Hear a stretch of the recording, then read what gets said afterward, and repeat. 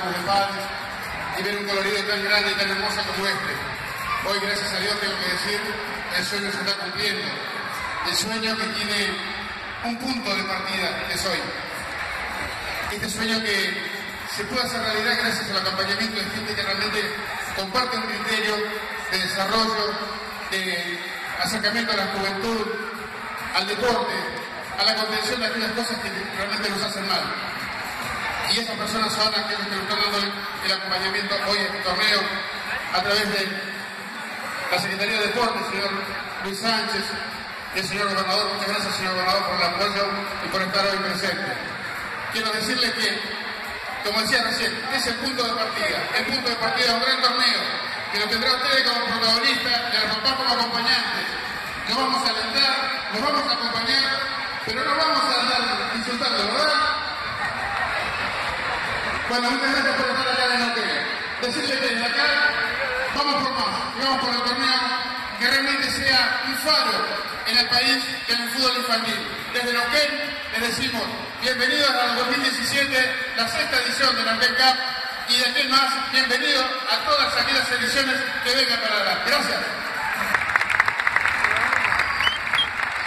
Hola, buenas noches chicos, ¿cómo andan?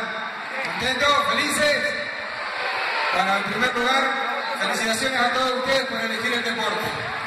Estamos orgullosos de poder acompañar esa pasión que sienten. Queremos también reconocer el enorme esfuerzo de sus papás. Sin que sus papás se los inculquen, sin que los lleven, los acompañen, es imposible que ustedes puedan solos.